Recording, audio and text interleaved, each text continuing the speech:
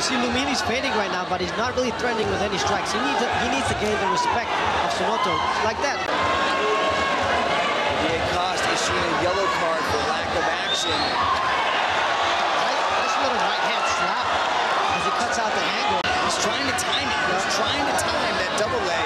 Nice straight right That's what he hand. needs to do. He needs to commit on some strikes right now to land some.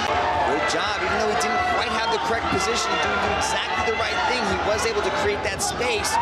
Now he's starting to attack the legs of Sunoto. That's that strategy. Now don't don't engage in the clinch here. Omi, he just kind of feeling it out. Doesn't want to put too much out there. Doesn't want to put himself in any sort of bad position because you know when you're on the ground and you can't do anything against your opponent, it's just shutting down any movement that you're making. How he ended the second round. Absolute star-studded main card coming up later on tonight. Turning back here to open up some of the Taekwondo stylings there from Lumihi.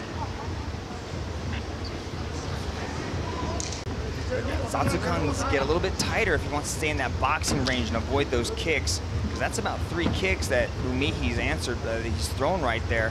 And Zatsukang hasn't really had an answer for it there. You can't just stay there and let Zatsukang have target practice. Inside leg kick there from Lumihi. Probing, setting the right hand here is Zhao Jingkang. Doesn't fire it though. Lumihi gets off a roundhouse kick. Lee here, 72% finishing rate. Lee Kai Wen, 67% finishing rate. See Lee Kai Wen switching stances, trying to protect that knee, but he just can't help it. He has to go back to orthodox to let that thunderous right hand start to go. Lemay here has two first round finishes. He is 0 and 1 against Chinese opponents. Turning back here. Left hand there from Lee Kai Wen. Alumini trying to use some of that black belt and taekwondo skills that he's.